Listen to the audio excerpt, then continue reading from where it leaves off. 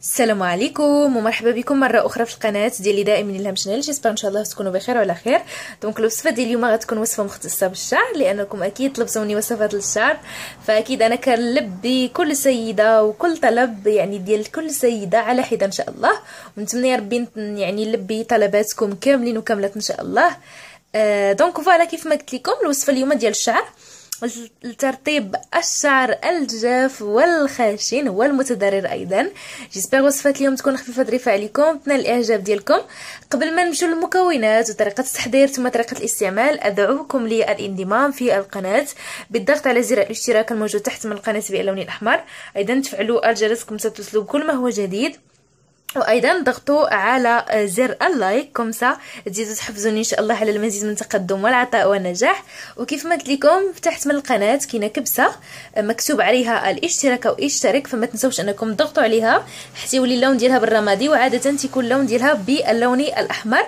وأيضا تخلوا لي اقتراحاتكم وتعليقاتكم في خانة التعليقات. والآن سننطلق إلى المكونات وطريقة التحضير ثم طريقة الاستعمال.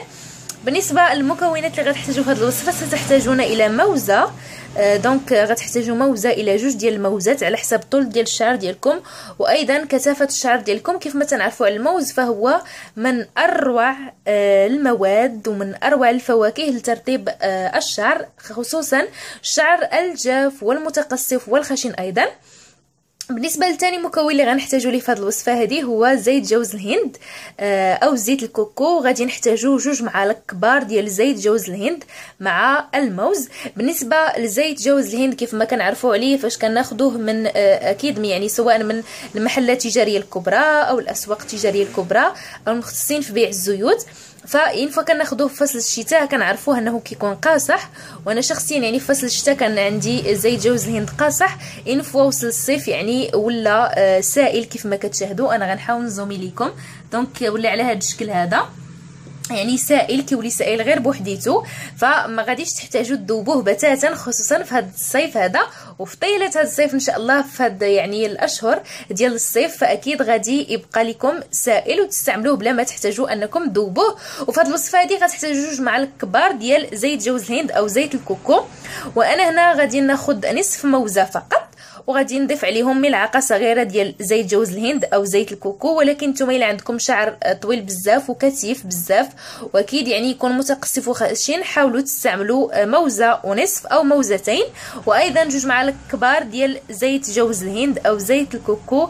زيت الكوكو البنات عنده بزاف الفوائد للشعر كيخلي فيه واحد الريحه كتهبل وغزالة ورائعة أيضا. وأيضا كيعطينا واحد الترطيب وواحد لمعه للشعر بلا ما نطول عليكم أنا هنا غنخلط ما بين الموز وزيت جوز الهند أو زيت الكوكو بعد إن شاء الله نرجع لكم فبقاو معايا. وبعد ما خلطت يعني قطع من الموز معكتها مزيان بالفرشيطة وأيضا وضعت ملعقة صغيرة. من زيت جوز الهند أو زيت الكوكو. دائما الكمية كتبقى على حسب الرغبة. يعني البنات اللي عندهم شعر طويل ما تحاولوش دائما تعملوا الكمية اللي كنستعمل أنا لأنه بعض المرات كنستعمل أكيد كمية قليلة. آه، كم سنوريكم طريقة الاستعمال فقط لا أقل ولا أكثر. ولكن بالنسبة للسيدات اللي أكيد شعرهم طويل وشعرهم يعني كتيف فضروري ما تضاعفوا الكمية وتستعملوا موزتين إلى ثلاثة موزات. إلى عندكم شعر كتير. وأيضا على حسب أفراد الأسرة اللي غيستعملوا معكم هذه الوصفة.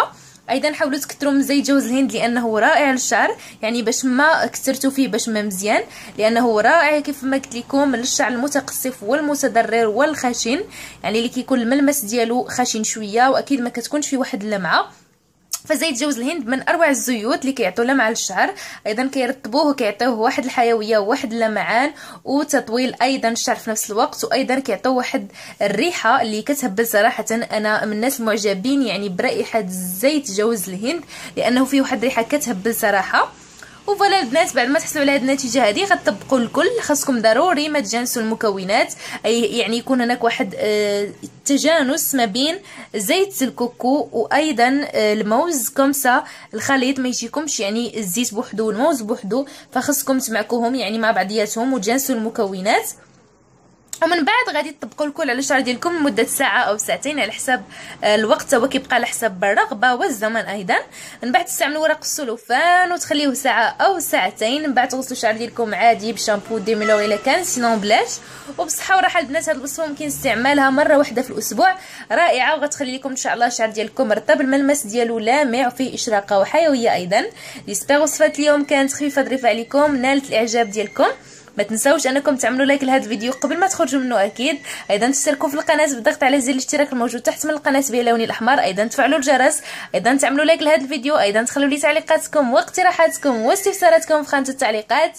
وأيضا تابعوني على مواقع التواصل الاجتماعي انستغرام سناب شات aussi la page officielle فيسبوك جميع الروابط. نخليهم لكم في صندوق الوصف. أنا نقول لكم نشوفكم إن شاء الله في la prochaine vidéo. السلام عليكم.